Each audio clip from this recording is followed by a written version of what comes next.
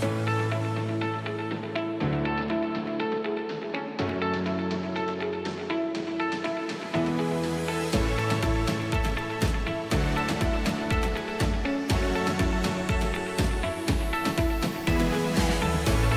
I think WOCIP is a catalyst for developing early adopters, women who can really drive change. And organizations are looking for leaders who are agile, who understand the fourth industrial revolution, who understand that the industry fundamentally is being turned upside down.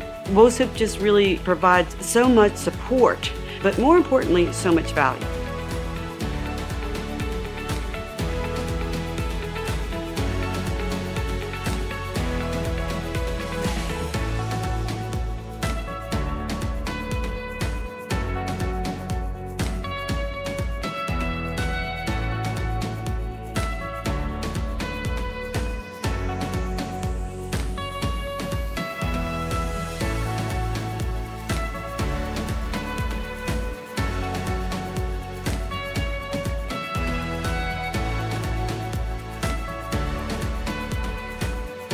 You know, the other thing about the investment to be a part of a program that's created by people like you, looking for people like you to support people like you.